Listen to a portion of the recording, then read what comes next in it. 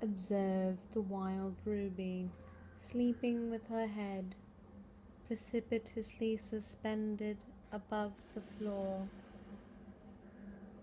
The ruby has been sleeping this way for approximately a quarter of an hour. We can be assured she is very comfy. Observe the extra cuteness of the ears.